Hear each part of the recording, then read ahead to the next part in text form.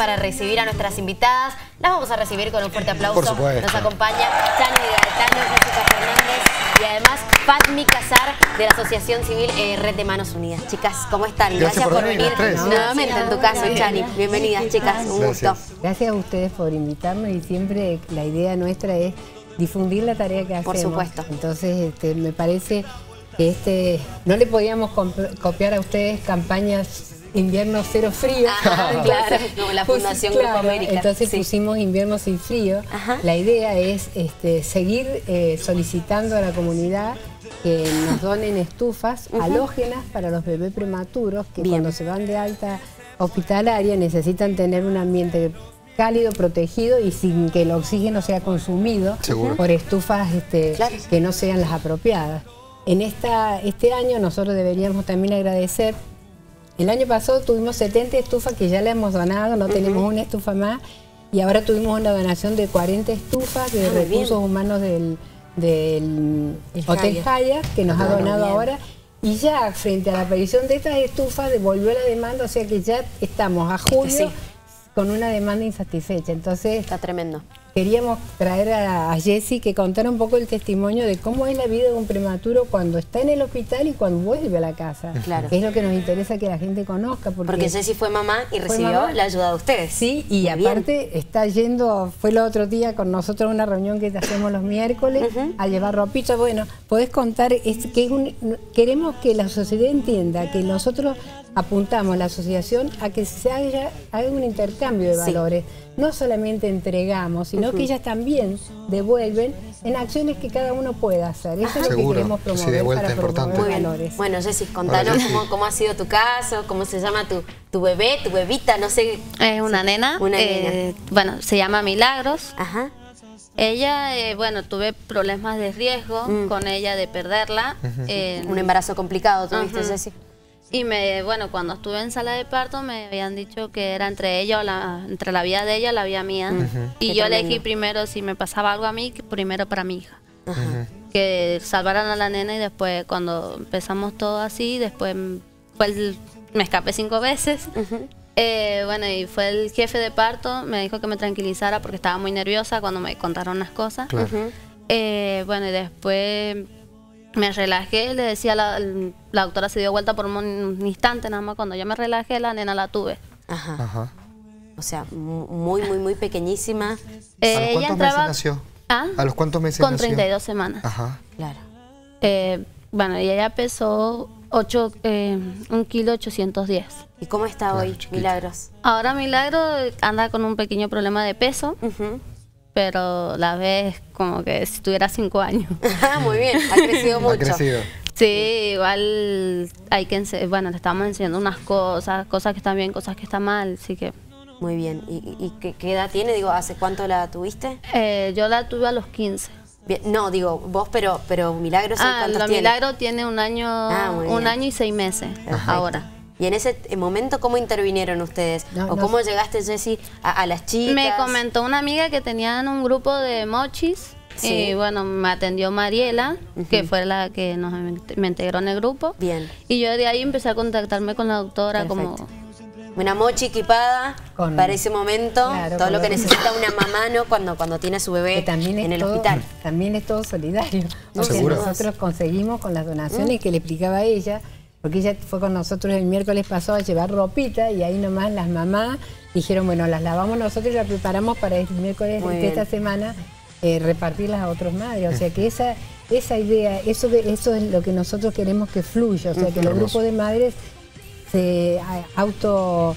eh, autopromuevan. Claro, que sigan conectadas Claro. de alguna manera. Bueno, Claro. nos contaba que, que Milagros ya nació hace más de un año y siguen aquí con ella, haciendo un seguimiento, viendo quizás qué puede ir haciendo falta a, a medida que, que ese niño va creciendo, ¿no? Seguro, porque van creciendo también las necesidades. Sí. Fatmi, ¿vos cómo te has sumado? ¿Cómo colaboras desde tu lugar? Un día eh, recuerdo que iba en mi auto y en la FM que iba escuchando sentí hace unos cuantos años una entrevista que le habían hecho a Chani Ajá. en ese momento, donde Chani pedía, que es lo mismo que vengo a pedir yo, manos y tiempo.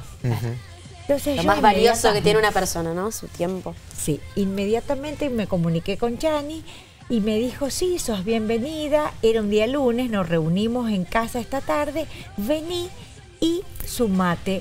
Bueno, llegué, res- eh, estaba un grupo súper cálido, que es el mismo que aún conservamos.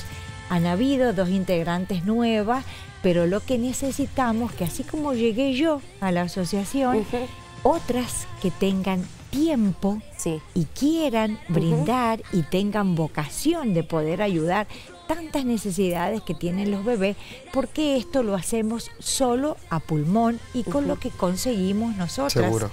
Claro. Y la aquella que no tenga tiempo nos puede buscar en las redes con una pequeña cuota que se pagara. Buenísimo. Eso también sirve para la compra de los pañales. Seguro. Perfecto.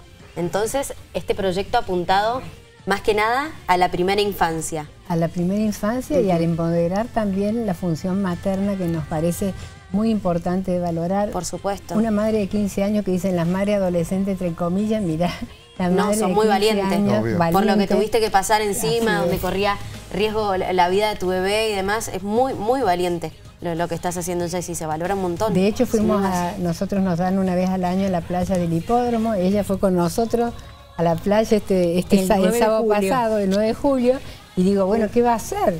Vendió mejor que yo la, la playa, así que realmente eh, creo que nuestra tarea como sociedad es darles espacio a las madres que tengan protagonistas, que no todo sea asistencia y que ellas puedan sentir que lo que hacen tiene valía para sus hijos. Por Es un ejemplo de vida, creo que es lo que queremos dejar el, mensaje. Jessy, y desde tu lugar, que veo que obviamente estás, te has sumado al equipo, estás trabajando con ella, ¿qué significa para vos este equipo? ¿Qué es lo que te brindó desde lo humano, más allá de, de lo material en su momento? Eh, me dieron, bueno, me dieron alegría porque yo lo que he hecho con mi nena es gracias a la fundación también. Y bueno, yo con mi nena ahora mm, la damos muy agradecida por las cosas que nos dieron. Y Mucha bueno, contención, ¿no? Sí, mucho cariño. Y, y Muy cuando importante. necesitaba algo ahí, preguntaba a la autora si no a otras mamás. Y bueno, y ahora lo que queríamos a ver si podíamos hacer por el tema del Instagram, que nos donen las cosas para los otros bebés que necesitan, como juguetes, ropa, cosas así.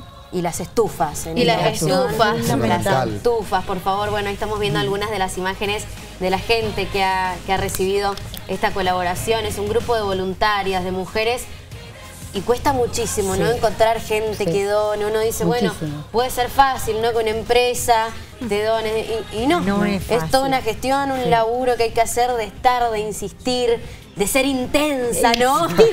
y estamos- Perseguidora. Sí, pero bueno, chicas, Es que está bien. Eh, eh, Mientras eh, el objetivo sea el, el que persiguen ustedes, hay que ser intensas, hay que Sí. seguir molestando a los municipios. Bueno, eh, de hecho, este, Natalia Castro, que es la jefa de recursos humanos, y Laura Merlo, Mm. que es la, la que promovió eh, lo- la donación última que nos han dado, estaban muy ligadas a, las- a- a la maternidad. Una por haber trabajado en el hospital, otra por haber sido madre y haber tenido Claro. experiencias muy positivas. Entonces, nosotros apelamos a eso también. Que lo- la- el, el hombre se sume porque la función Obvio. paterna también No, hay que bueno, recuperarla. Estas familias están, ella recién contaba que dejó de trabajar el día que la nenita de un año y seis meses le dijo que no fuera a trabajar más. O sea, ¿cuál es el lugar del padre en estas familias donde la vulnerabilidad les, las está acuciando y una realidad que demanda siempre... ¿Cuánto cuesta, me dijiste, los pañales? ¿Cuánto Y te están salen? en dos mil, tres mil pesos. Wow. Claro. Paquete de pañales. ¿Hace la o cuenta sea. por mes? Claro. Chani, ¿tienen nombres en el equipo o no hay voluntarios que se han sumado? Voluntarios hombres no hay, por favor, necesitamos urgentes voluntarios hombres, Sí. ¿no? Pareciera que esto es una cuestión de mujeres, como que las mujeres están en la casa, no, Sí. no es, las mujeres están No, en la vida, seguro. No, por en, la, supuesto. en la trinchera. Y creo que, que todos, más allá de género o lo que sea, nos tenemos que involucrar, ¿no? Claro. Con la realidad que estamos atravesando, perdón, se me cayó el auricular, por eso estoy así, con la realidad que estamos atravesando como país. Sí, Está sí, muy, muy, complicado. Bueno, mi mamá trabaja con vos, Sí, Chani. bueno, no quería Eh, involucrarla ahora, No, claro. no, sí, pero y, y cada vez que vuelve de entregar las donaciones, ropa, lo que sea, dice, me pidieron tantas cosas más. Es siempre mayor, mayor la necesidad. sí. Nunca a- alcanza Nunca uno ¿no? alcanza. a, a cubrir Y el también total es de las bueno cosas que, que, se ya que necesitan. puedo hablar de tu mamá, no quería comprometerla.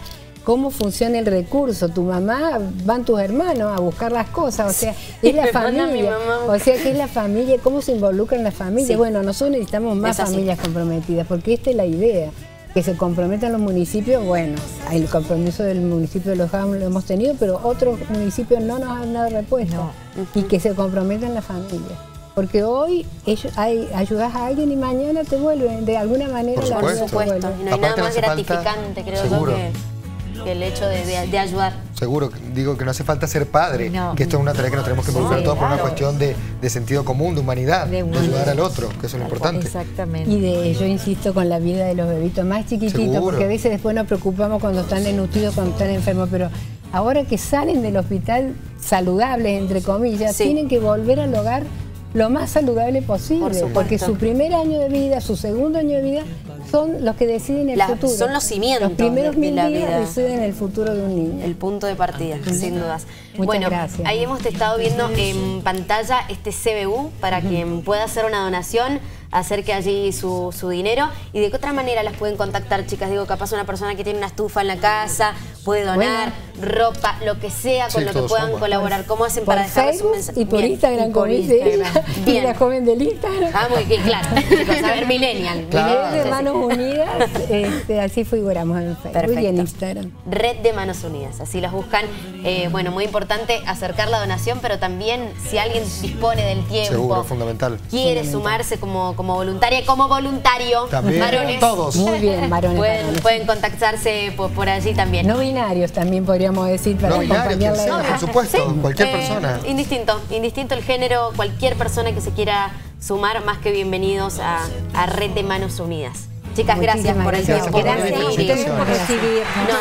para nosotros es un placer que cuenten con este espacio para, para difundir proyectos que valen la pena. Seguro, sin totalmente. dudas. Así que gracias, Gracias y y, felicitaciones. y ojalá les lleguen muchas donaciones a partir Ojalá, de ojalá. esto que hemos charlado por acá. Gracias. Bueno, y Jessy, besos a Milagro. Todo lo mejor, claro, hermosa y todo lo mejor para, para esta etapa en la maternidad, ¿sí? Gracias. Igual ahora nos están viendo en el 7 ya. Ah, bien, Milagro. Tiene mamá famosa. Los debe estar mirando. Vamos a hacer una nueva pausa.